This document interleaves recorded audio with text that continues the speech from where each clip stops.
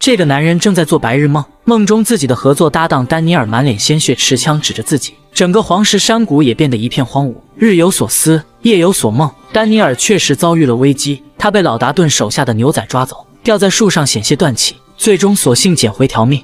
鬼门关走了一遭的丹尼尔仍然没有放弃，他坚持要留在黄石完成与酋长托马斯的合作计划。老达顿在酒馆偶遇了丹尼尔，出言嘲讽，但丹尼尔不为所动。反讽老达顿是个白发人送黑发人的失败父亲。这次到了老达顿的痛处，他起身向丹尼尔放话。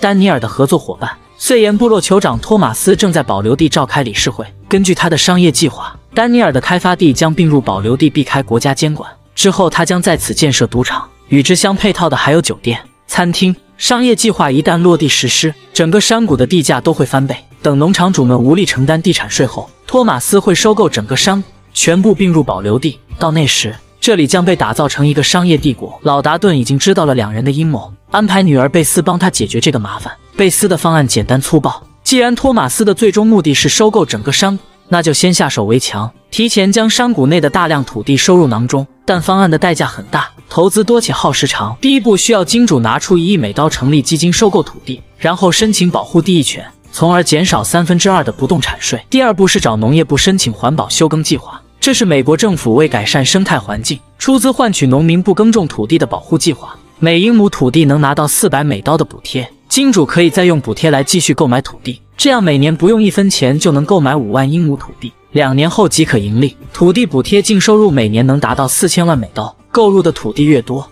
收入的数额就会越大。整个计划的前提是需要拿出一亿美刀的现金，而且要做好两年内没有收入还要支出运营成本的准备。贝斯经商多年，有不少人脉。在当地拥有这样财力的只有他的上司鲍勃。精明的鲍勃没有被眼前的暴力冲昏头脑，他询问贝斯有何所图。明眼人说亮话，贝斯坦诚自己的目的是要给达顿农场的周边挖一条护城河，给鲍勃赚钱的同时保护自家的农场。贝斯的答案让鲍勃非常满意。随后他做出了安排。美国西部牛仔每天的生活是怎样的？牛仔们白天骑马放牧，有时要寻找走失的牛群。技术好的骑手还要负责驯马，新手牛仔则要干一些脏活。负责给公牛取经，在这之前还要给牛掏粪。休息时，牛仔们一起用餐发牢骚。老牛仔嘲讽新人的笨拙，并传授自己的牛仔经验，有时会因此受到年轻人的挑衅。但作为主管的雷普不允许黄石农场有打斗的情况。相比白天的枯燥，牛仔们夜晚的生活更为丰富。人们聚在工棚里打牌、喝酒、聊天。有一种更刺激的玩法叫牛仔扑克，在牛栏中摆一张桌子，牛仔们围绕而坐，人们喝酒壮胆。随后将一只发情的公牛放入篮中，公牛会冲向桌子，最后留在桌上的人就是赢家。菜鸟吉米第一个逃离场地，桌上唯一的女性艾弗利竟然成了最后的赢家，成为了牛仔中最有种的人。雷普看到牛栏中一团糟，将这些寻刺激的牛仔赶去了镇上的酒馆。当他听到自己招募来的艾弗利得胜时，心中也涌现出一丝小得意。吉米和艾弗利在酒馆闲聊，两人有着共同点，很聊得来。此时有一名牛仔前来搭讪，被吉米赶走。两人热情的互相问候，随后上升到了肢体冲突。吃了瘪的黄石牛仔鼻青脸肿的回到了工棚，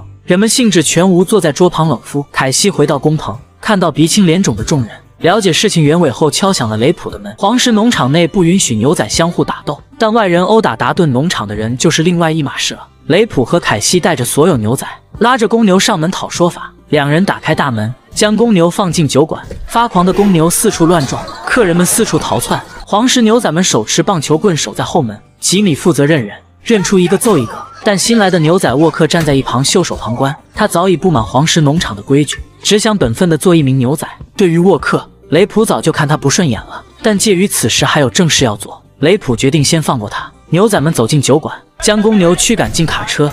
雷普给老板放话，下次再有人搞黄石的人，希望他能妥善处理。没想到凯西更狠，他警告老板。不愧是老达顿的亲儿子，狠辣的凯西让雷普都有些惊愕。老达顿正在将农场的管理事务逐渐过渡给凯西，招募牛仔、安排工作也交给了他负责。看着农场在朝着好的方向发展，这让老达顿很欣慰。然而他的身体却在此时出现了问题。在巡视农场时，他突然倒地，口吐鲜血。人们立刻将他抬进医疗车。老达顿声称自己患有大肠癌，但兽医通过设备确认，病因并不是大肠癌，而是十二指肠溃疡破裂，急需开刀灼伤止血。由于没有麻醉剂，老达顿疼晕了过去。简单处理止血后，农场的直升机将老达顿送往了医院。经此一劫，人们知道了老达顿得的只是溃疡，而不是癌症。这让老达顿和凯西都暗自庆幸。这意味着老达顿仍有时间和精力来应对对手，还能继续守护这片土地。看亿万富翁是如何买房子的。这是一座占地上千亩的农场，它的主人并没有出售的打算。贝斯通过地产中介了解到这块地后，直接带着上司鲍勃登门拜访，开口向农场主表明来意，要出钱买这座农场。他并没有出售意愿，但贝斯坚持要他出个价钱。身后的上司鲍勃也打开了支票本，农场主想借此劝退贝斯，随口开出九百万美刀的高价，这远高于市场价格。但两位来客没跟他开玩笑，直接签下巨额支票。这两位已经开启了疯狂购买模式，目标是这座山谷内的在售土地。两人各有目的，鲍勃为了圈地赚钱，贝斯是为了保护自家农场。此时，达顿农场内正在建围栏的牛仔们出现了矛盾。刚来不久的沃克对眼下的工作非常不满，他来农场是骑在马背上放牧的。而不是做这些脏活累活。雷普对自由散漫的沃克早已不满，两人因此产生冲突，并大打出手。老牛仔掏出枪抵在沃克身后，阻止了争斗。沃克一气之下回到工棚，收拾行李，准备离开农场。另一边，凯西带着父亲老达顿从医院返回农场。老达顿听说了之前凯西为牛仔们出头的事情，他告诫凯西，如果牛仔们受到了欺辱，让他们自己去解决。作为农场接班人，要与牛仔保持距离，太过于贴近他们，反而会起到副作用。他准备让凯西搬出工棚，这也意味着身份的转变。两人在回农场的途中，看到了沃克背着行李向外走，询问起原因。沃克抱怨凯西和雷普都在管事，自己很矛盾，不知该听谁的。此时老达顿开口表态：“I run it, he runs it。”老达顿作为农场主，给沃克吃下了定心丸。回到农场后，老达顿将长子李生前使用的徽章交给了凯西，这是全权管理农场事务的象征，一直由雷普代管这里的事务。现在是时候移交权力了。此时的雷普正打算教训沃克，凯西及时赶到阻止，并告诉雷普老达顿要找他谈话。对于雷普，老达顿心怀歉疚。整个达顿农场内，雷普是对他最忠心的人，但自己却没有办法给予他什么。如今凯西准备接班农场，还需要他做出让步。雷普明白老达顿的意思，他搬出独立小屋给凯西腾空位置，随后住进了牛仔工棚。雷普到来后，喧闹的工棚立刻安静下来。但他很快就让工棚再次恢复了之前的欢乐。但有一个人高兴不起来，以后的工棚生活会比他在监狱的日子更难熬。两个男人将通过拳头在此树立权威，这是黄石农场的规矩。新接班人凯西与之前的牛仔主管雷普在围栏内搏斗。凯西想要上位，就必须要与雷普有个了断。雷普在老达顿身边做了多年打手，身强力壮。凯西是特种部队出身，作战能力出色。两人斗得精疲力竭，难分胜负。最终，雷普被凯西一拳击倒。看得出来，忠心的雷普为让凯西上位，主动输掉了对决，帮凯西在农场建立了权威。老达顿很感谢雷普对农场的付出，他希望雷普能继续辅佐凯西经营农场。但雷普并不看好凯西，他询问老达顿看中了凯西的哪一点。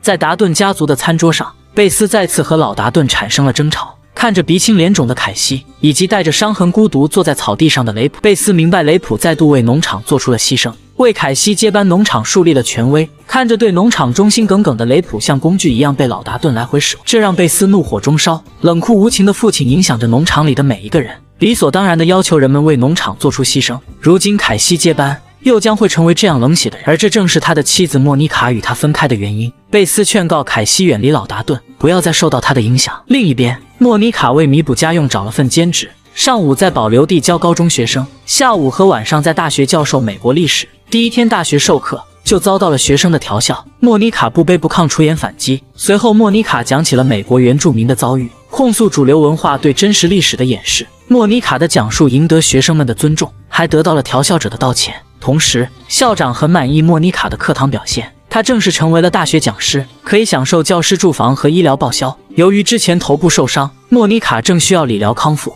这些优厚的条件让他对未来的生活充满了希望。不久后，凯西带着老达顿到理疗所做踩水康复训练。固执的老达顿不听护工的指导，四处乱游，意外撞到同样在做康复训练的莫妮卡。此时，在一旁游玩的泰特也看到了父亲凯西，一家人就这样奇妙的在此相遇。生活不如意的富二代选择了继承家产。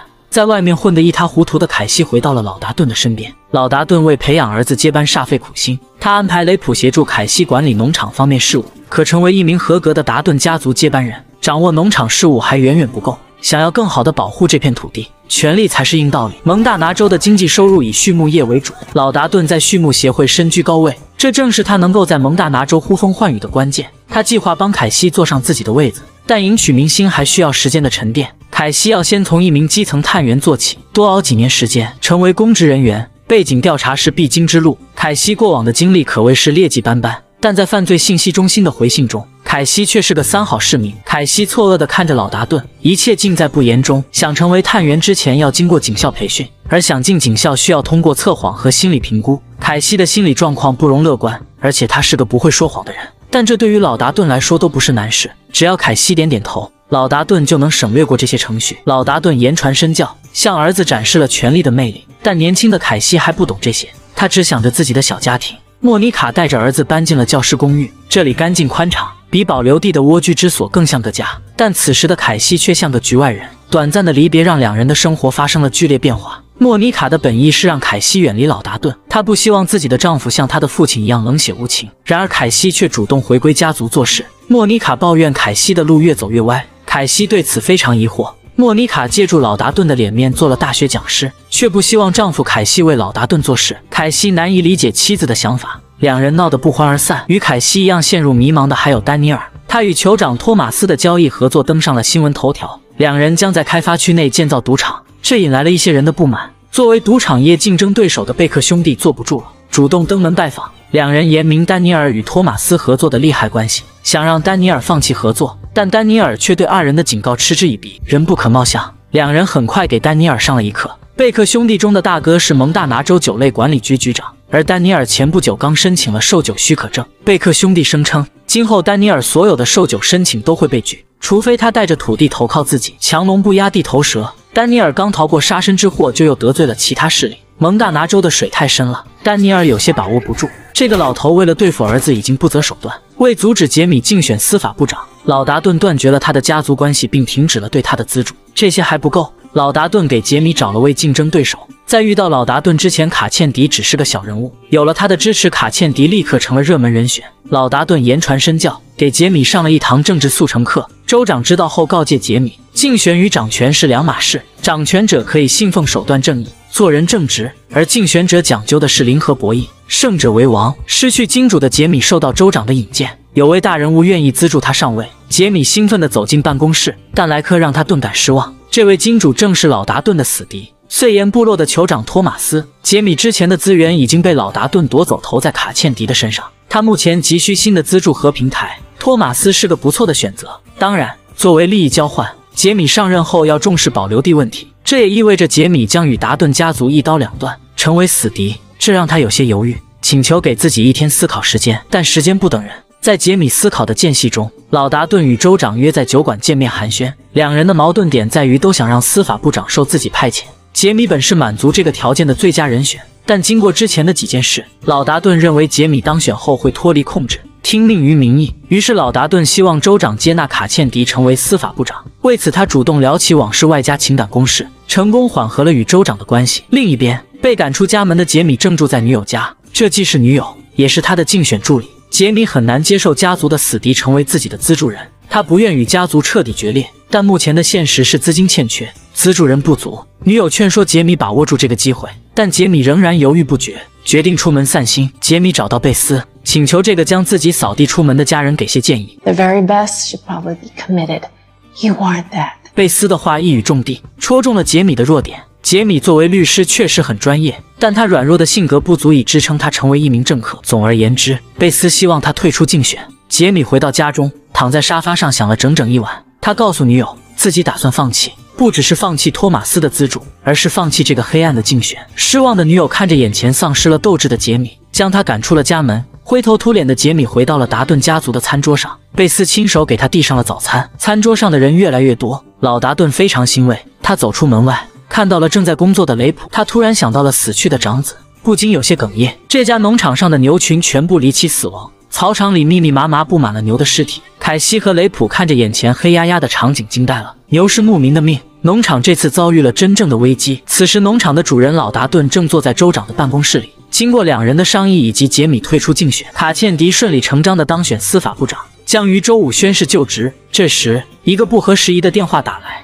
农场的坏消息传到了老达顿的身边。两人很快赶到农场，老牛仔已经找到了害死牛群的罪魁祸首，正是洒落在农场里的苜蓿。牛群进食了大量的苜蓿仙草，使他们的腹部产生胀气，直至死亡。老达顿明白这是有人故意而为。一定有人在昨晚从空中投放了苜蓿。老达顿目前最大的仇敌是丹尼尔，他理所应当的认为是丹尼尔筹划了这次行动来报复自己，但要指控他，必须找到证据。此时，丹尼尔正在参加奠基仪式，如今的他已经陷入绝境，前有老达顿的围剿，后有贝克兄弟的追兵，只能任由酋长托马斯吞并开发地。唯一的好处是以后的生意可以越过蒙大拿州的监督，开发地所有权落入碎岩部落手中。丹尼尔只能祈求托马斯信守承诺。能让他从中分一杯羹，否则他就真的一无所有了。农场这边，治安官唐尼接警后赶到了现场，他与老达顿积怨已久，不想帮老达顿处理此事。而且牛群的死不在他的管辖范围，应该由老达顿的畜牧协会处理。但老达顿缺人手，他要求唐尼加派几个人手，或者授权给凯西查案。凯西因此拿到了持枪许可，参与了案件侦查。此时，黄石农场来了位不速之客，贝克兄弟在电视上看到了电击仪式，明白他们的威胁没有对丹尼尔起到作用。决定找盟友合作。托马斯的赌场会影响贝克兄弟的生意，保留地的扩张会对老达顿的农场造成威胁，而两人手中的权力都无法干预到保留地内。他们有着共同的麻烦和敌人，而且没有利益冲突。如果谈成合作，可以说是天作之合。然而老达顿却拒绝了，他要坚持用自己的方式处理问题。年迈的农场主亲眼看着自家的草场化为灰烬，做出这样的决定实属无奈之举。有人在他的草场空投了大量苜蓿仙草，害死了三百多只牛。春天要到了，如果苜蓿在此生根，会污染草场。老达顿决定焚烧这里，消除苜蓿子，为防止森林起火，他还安排了水罐车和消防局。另一边，凯西带人查了当地所有机场，一无所获。但投放苜蓿的飞机不可能凭空出现。老达顿安排凯西继续调查周边城市的机场。临走前，他告诫儿子，如果有发现，不要起冲突，及时通知治安官增援，怕什么来什么。在去检查机场的路上，凯西身边的探员收到了警情。这片农场上出现了死牛，两人赶到现场进行调查，发现这只牛死于野狼袭击。按照程序，探员通知治安官来此立案，之后畜牧协会将下发补偿。然而治安官故意刁难他们，声称目前没有多余的人手。两人等了大半天，调度中心迟迟没有派人来，探员只好自行调查，来到隔壁的农场查看另一只死牛。这家农场的主人杰瑞是当地知名的无赖，而凯西注意到牛的伤口有些奇怪，他转头自顾自地来到谷仓内。果然在此发现了沾有肉屑的割草机。随后，探员以骗取赔偿金的罪名逮捕了杰瑞。此时，不知情的杰瑞儿子端着枪冲了出来，凯西细声安慰，一旁的探员持枪警告。对峙中，情绪激动的探员开枪射杀了这个年轻人。面对儿子的尸体，杰瑞悔不当初。老达顿得知了消息，立刻赶到现场，知道不是凯西开的枪后，他松了口气。探员与死者持枪对峙，虽然属于正当防卫，合情合理，但死了人毕竟不好交代。老达顿质问探员为何不请求治安官增援，探员解释他们已经请求了多次，但都遭到了拒绝。老达顿明白治安官唐尼是在给自己使绊子，有矛盾的时候谎称自己缺人不解决问题，现在出了人命，才带了一大批探员赶到，还骂骂咧咧的责怪畜牧协会。老达顿看着眼前满嘴喷粪的治安官，怒火中烧，一拳堵上了他的臭嘴。治安官对自己的渎职行为自知理亏，站在一旁不敢说话。发生在农场的悲剧很快登上了当地的新闻报道。执法失误引发了舆论一片哗然。看到新闻的贝克兄弟找到了可乘之机。这是美国西部的一对青梅竹马，男孩雷普是农场主老达顿收留的苦命人，女孩贝斯是老达顿的女儿。两人在农场上相识相恋，在若即若离中相互扶持长大。前段时间，雷普为给凯西让位，搬进了工棚，贝斯对此耿耿于怀，质问父亲。老达顿解释，目前的农场主管是凯西，只有主管才能住独立小屋。之后，他隐晦地告诉贝斯。想让雷普搬出工棚，其实很简单，只需要给他一个名分，而这件事贝斯就可以做到。雷普虽在农场出力多年，但终究不是老达顿的儿子。老达顿心里很清楚，雷普为农场牺牲了很多，但规矩就是规矩，没办法改变。在达顿家族的餐桌上，凯西和杰米正在讨论那架投放苜蓿的飞机。经过多天的调查，他们一无所获。老达顿已经等得不耐烦了，他让凯西直接上门去找丹尼尔。给农场的损失讨个说法。此时的丹尼尔听从了酋长的建议，从加州州警中请了一位保镖，并学会了用枪防身。面对找上家门的畜牧协会探员，丹尼尔掏枪对峙，帅不过三秒。凯西从他背后出现，夺下手枪后，一拳将丹尼尔制服。凯西将丹尼尔抓进屋内，质问他为何要害死黄石农场的。然而丹尼尔对此事一无所知，他对牛一窍不通，这件事并不是他所为。凯西有些懵，难不成他们怀疑错人了？而丹尼尔经受了达顿家族一而再、再而三的威胁恐吓，他再也受不了了。此时，丹尼尔请的保镖来到楼下，他谎称自己是维修工人，制服了探员后上楼。凯西反应迅速，翻身控制了保镖。丹尼尔趁机捡起枪顶在了凯西头上。这时解开手铐的探员也赶到了现场，持枪对准了丹尼尔。愤怒的凯西起身将丹尼尔顶在天台上，要听他讲实话。凯西看出丹尼尔没有说谎，带人离去。临走前，他警告丹尼尔身边的保镖：蒙大拿州的规矩与加州不一样，要他以后好自为之。回家后的凯西将调查结果告诉了父亲老达顿。老达顿暂时想不到还有谁会针对自己。只能先将此事放在一边，全力应对另一件事。年轻人手持猎枪与探员对峙，结局是得到了一颗子弹。处在正当防卫的前提下，探员史蒂夫的行为可以解释为事出有因，但他作为畜牧协会的探员，并没有查案的权限。这件事本应由治安探员处理，是治安官唐尼为给老达顿使绊子，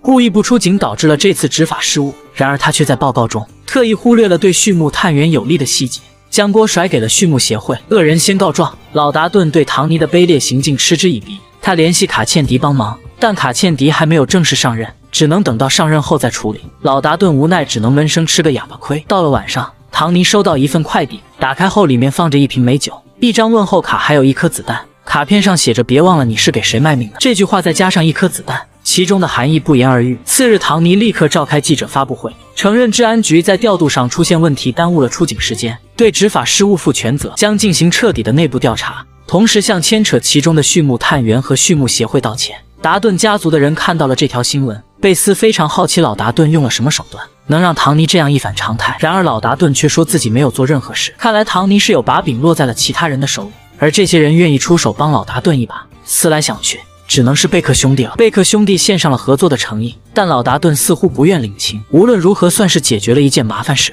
但又一件大麻烦随之而来。最近杰米的表现很奇怪，经常心不在焉，总是被手机讯息所左右。之前杰米为了竞选，不惜对付父亲老达顿，向纽约杂志的政治记者阿软透露了大量达顿家族黑料。现在阿软打来电话，想要采访老达顿，给他个回应的机会，顺便搞个大新闻。但今时不同往日。杰米已经放弃竞选，回归家族。这些黑料一旦曝光，整个家族都要完蛋。因此，杰米想收回之前的话。他威胁阿软不得引用他的任何言辞，否则就诉诸法律。但阿软也不是省油的灯，他选择和杰米硬碰硬。被逼上绝路的杰米没了办法，找到贝斯坦白，请他给些建议。贝斯听后又惊又怕，揪住杰米的头发，强行把他拖进老达顿屋内。老达顿从没见过贝斯这样的神情，他意识到杰米一定惹下了大祸。老头用酒瓶两下放倒门口的保镖，之后闯进办公室，拎起一把椅子甩向丹尼尔。无辜的丹尼尔一脸懵，刚被儿子揍完，老子又上了门。而老达顿并不是来教训丹尼尔的，而是来谈合作的。来此之前，他在路上偶遇了等候多时的治安官唐尼。唐尼在贝克兄弟的赌场欠了债，因此受到了他们的摆布。之前主动担责，正是因为受到了他们的威胁指使。唐尼特意来此，是想提醒这位曾经的老朋友：贝克兄弟做事不择手段，无论是做盟友。还是做敌人，都不能和他们有任何交集。老达顿从没想过要与贝克兄弟联手，但唐尼的提醒反而让他想明白了一件事：农场上的苜蓿很可能出自贝克兄弟之手，意图嫁祸丹尼尔和托马斯，挑起争斗，从中得利。随后，老达顿闯进了丹尼尔的办公室，两人都已领教过贝克兄弟的手段，在他们做出更肮脏的事情之前，要想办法阻止他们。但丹尼尔已经被托马斯踢出开发地项目，没法做主。只能帮忙安排会面。此时，托马斯的赌场酒店内，贝克兄弟正在强买强卖。他们自知无法阻止托马斯建设新赌场，于是转变思路，要求新建赌场的老虎机只从他们的公司里租赁，而作为回报，他们会帮托马斯扫清建设赌场的阻碍。如果托马斯拒绝，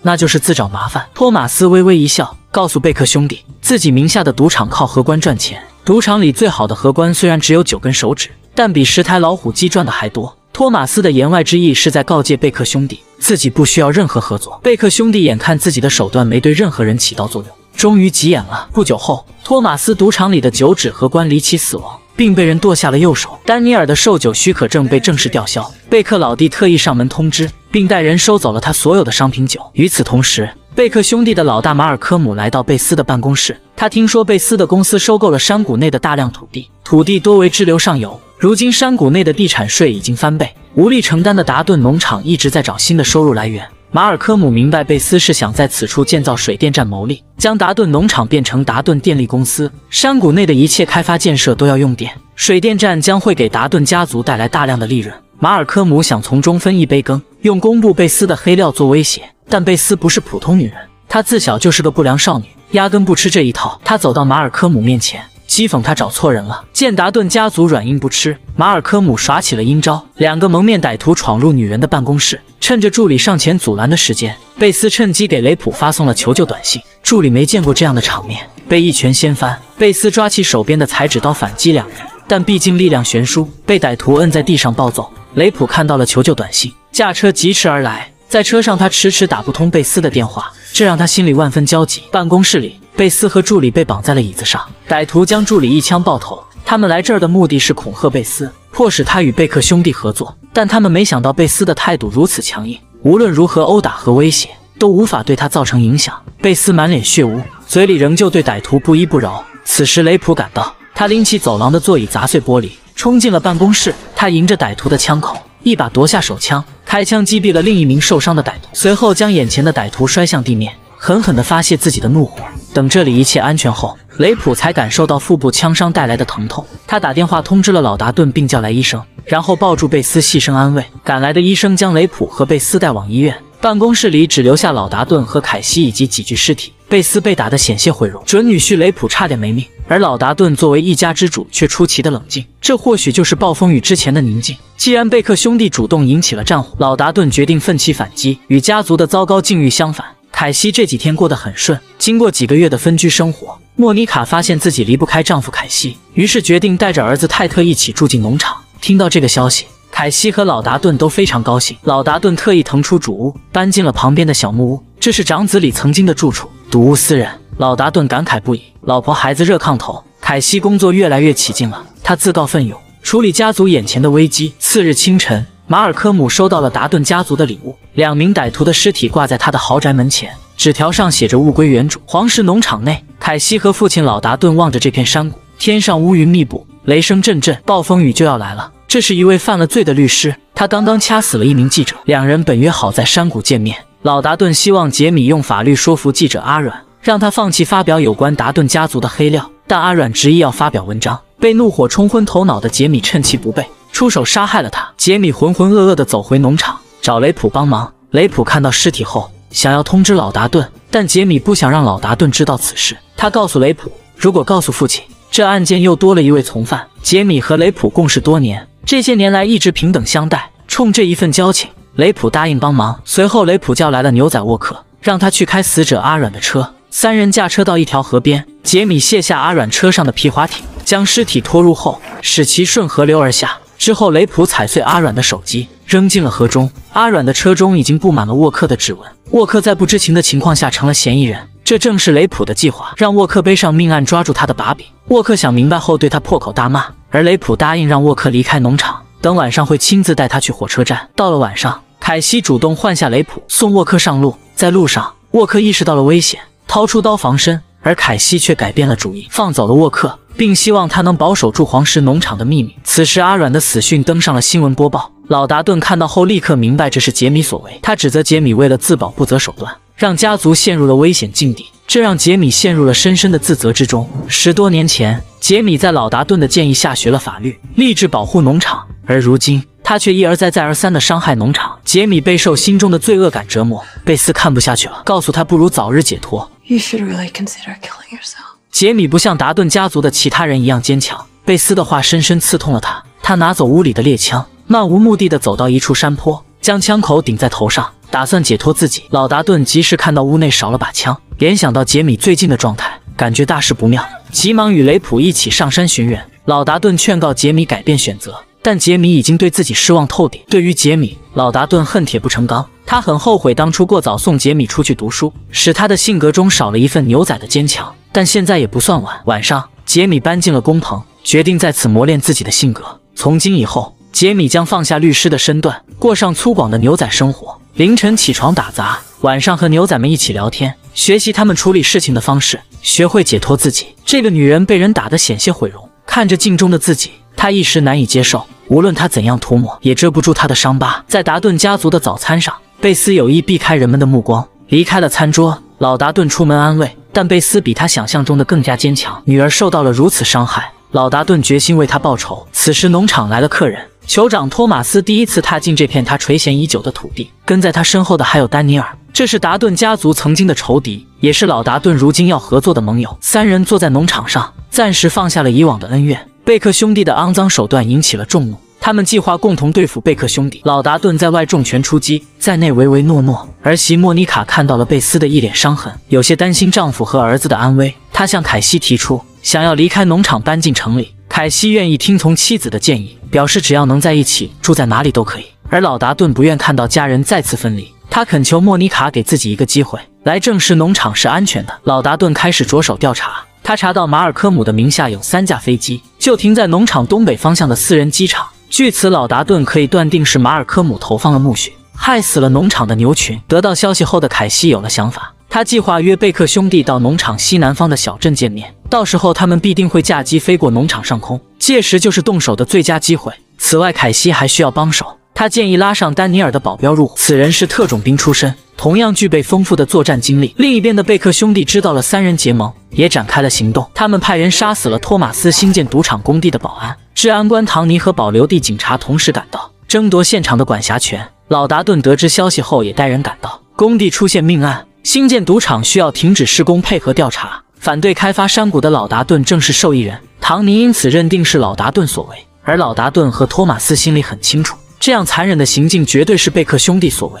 他们想借此阻拦新赌场的建成。看到贝克兄弟的手段越发残忍，老达顿觉得是时候解决他们了。他打电话给马尔科姆。约定在农场西南方的小镇见面，而马尔科姆也在准备向老达顿下手。他的桌上摆满了达顿家人的照片，老达顿的孙子泰特将成为他的下一个目标。女人在购物时遭到了歧视，店主人看到顾客是位印第安人，就无端怀疑莫妮卡偷了店里的东西。面对店主的无理取闹，莫妮卡想要离开，但被保安拦住。如果丈夫凯西知道了事情原委，可能会一把火将店烧了。莫妮卡思考再三，打电话给大姑子贝斯求助。店家恶人先告状，打电话报警。警察赶到后，要求对莫妮卡进行搜身，否则就以行窃的罪名将她抓进警局。无奈的莫妮卡走进试衣间，女警对她进行了搜身。店家自知理亏，偷偷的将一枚戒指扔在地板上，踩在脚下，随后将空出的戒指盒展示给警察。一无所获的女警看到后，要求莫妮卡脱下所有衣物接受检查。备受屈辱的莫妮卡只能照做。此时贝斯赶到了店内，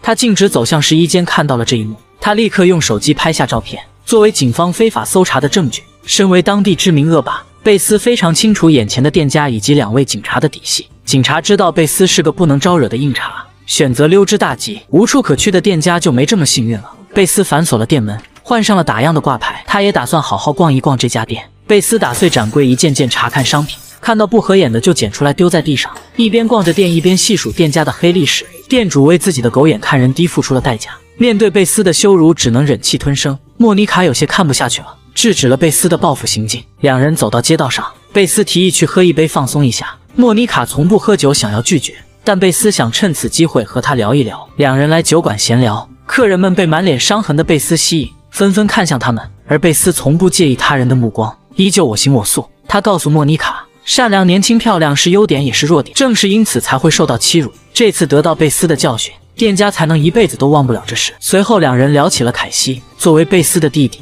莫妮卡的丈夫以及达顿家族未来的继承人贝斯不希望凯西成为父亲老达顿那样过于冷酷的人。老达顿的善良跟随妻子的去世而消逝。贝斯恳求莫妮卡不要离开凯西，希望他能用自己的善良阻止凯西步入父亲的后尘。另一边，杰米在咖啡馆与女友见面，女友看到了阿软意外身亡的报道。作为杰米曾经的助理，他明白事情的真相，他害怕自己会遭遇相同的命运。但杰米再三保证那只是个意外。女友告诉杰米，自己已怀有身孕。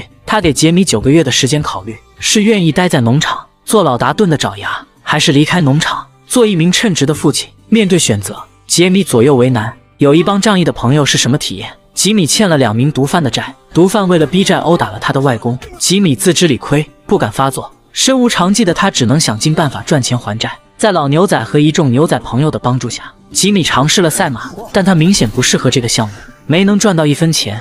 老牛仔知道吉米缺钱后。推荐他去参加骑马大赛。这项比赛是比拼谁在疯马的背上待的时间长，超过八秒就有可能获胜。老牛仔认为吉米很有这方面的天赋，愿意自掏腰包帮吉米出报名费。雷普知道后也鼓励他，并提醒老牛仔当心不要让吉米受伤。吉米在简单尝试后进入了马栏，在正式比赛中，马背没有马鞍，只有锁具。全靠骑手凭借技术将自己控制在马背上。老牛仔让吉米先在农场上练习，考验他的能力。第一次骑上疯马背，吉米待的时间就超过了八秒。他的成绩让现场的牛仔们大吃一惊。在老牛仔的赞许下，吉米也有了参赛的信心。老牛仔带着吉米参加了马会，看着竞技场上的骑手被疯马颠下马背，然后被担架抬走，这让吉米有些犯怵。但箭在弦上，不得不发。吉米一咬牙，骑上马，冲出了围栏。马背上的吉米被颠得头晕眼花，但他坚持不松手，直到八秒后喇叭声响起，工作人员才将他拉下马背。吉米就这样赢得了比赛，拿到奖金和腰带扣。看到吉米取得这样的成绩，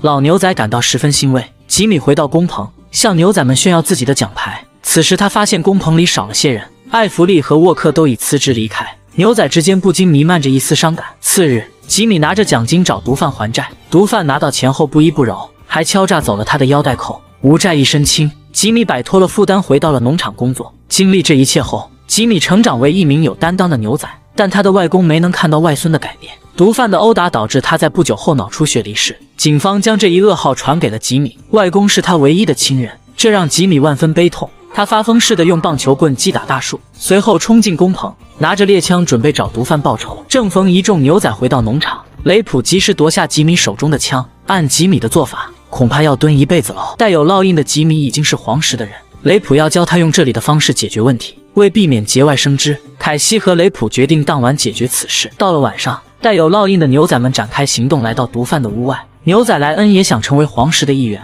主动请缨加入了行动。屋内的毒贩们正在睡梦中，雷普决定智取。几人在拖车房底部钻洞，然后通过橡皮管向屋中冲入液化气。随后一场大爆炸彻底解决了仇怨。临走前，吉米还拿回了自己的腰带扣。在凯西和雷普出门办公的这段时间里，农场里出了乱子。老达顿掉以轻心，在吃夜宵时让孙子泰特独自出门喂养他自己的小马。贝克兄弟的人趁此机会绑架了泰特。整个农场的人寻了一整晚，只找到了车痕和泰特丢失的鞋。为什么受伤的总是丹尼尔？丹尼尔正独自坐在豪宅中，身处贝克兄弟的人身威胁下，他彻夜未眠。一旁的对讲机中传来声音，在屋外看护的保镖让他休息一会儿，但丹尼尔拒绝了。事实证明，丹尼尔的选择是正确的。保镖在车中被人一枪爆头。随后，几名歹徒从树林中走出，踏进了豪宅。丹尼尔在起身拿酒时，注意到门外的危机正在靠近，他拿出手枪防身，闪身躲在壁橱内。歹徒进屋后东张西望，被身处暗中的丹尼尔开枪解决。随后，丹尼尔走出壁橱，交换了手枪。此时，又一名歹徒进屋，丹尼尔及时反击，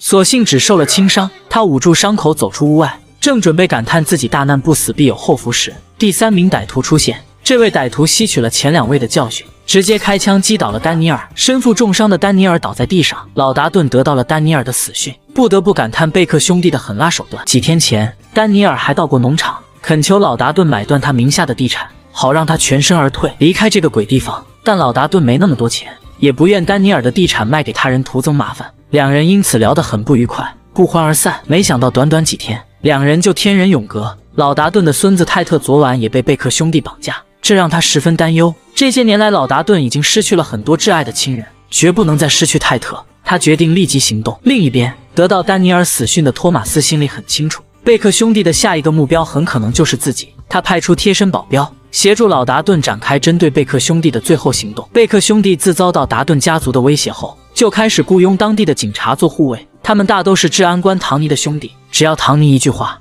就会退出。而唐尼在目睹了丹尼尔的被杀现场后，明白如果自己不早日脱离贝克兄弟的魔爪，未来也将会是这样的下场。于是，在这场达顿家族与贝克兄弟的对决中，唐尼选择站边老达顿，与他里应外合除掉贝克兄弟。同时，他希望老达顿找个正当理由再动手，这样方便办事。老达顿正有此意，他通过卡茜迪弄来一张逮捕令，交给了凯西，以涉嫌危害牛群的罪名抓捕贝克兄弟。凯西在行动前安慰妻子。保证会安全的带回被绑架的儿子。都说女人狠起来连自己都怕。一向厌恶暴力的莫妮卡也一改以往的善良，她要求丈夫务必杀光伤害到儿子的人。坐在马桶上挨了枪子，贝克老弟暗自悔恨自己不该蹲这么久。站在门口的凯西正持枪指着他，询问儿子泰特的下落。面对贝克老弟的顽固抵抗，凯西又朝他的腿开了一枪。猛男也怕疼，贝克老弟不敢再抵抗，连忙交代出泰特的下落。在疯子山脚下的蒙大拿自由民兵营地。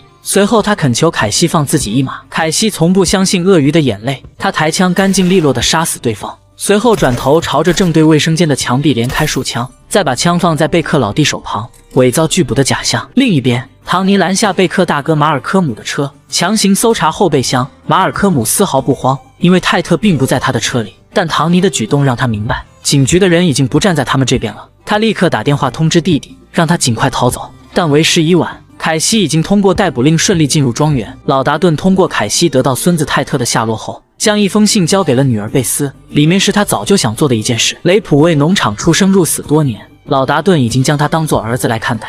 他让贝斯修改农场的信托，将雷普纳入继承人，并为他建造了专属木屋。这意味着雷普正式成为达顿家族的一员。看着眼前的一切，雷普激动落泪。以往他不求回报地为农场付出，没想到这些都被老达顿看在眼里，记在心中。士为知己者死，达顿家族要到疯子山与那里的民兵作战。雷普决定身先士卒，率先冲进营地，吸引火力，观察敌情。这同时也是老达顿的意思。他抱有一些私心。不希望凯西冒险。临行前，老达顿与雷普互诉衷肠。雷普端起枪，坐在马背上，举头望月。随后，他单枪匹马杀入营地内，亮起了火光。这些便是民兵的埋伏点。凯西立刻带着畜牧协会警队和印第安外援，将火力点逐一清除。老达顿紧随其后，带人从右侧包抄，迅速占领整个营地。然而，营地中并没有泰特的身影，这让凯西十分焦急。营地外，老达顿意外看到正在逃跑的马尔科姆，他一枪将其放倒。追问孙子泰特的下落，马尔科姆倒在地上痛苦挣扎。他自感时日无多，说泰特已被他转移到白龟市里一个叫卡特的人手中。在这场对决中，贝克兄弟输得很彻底。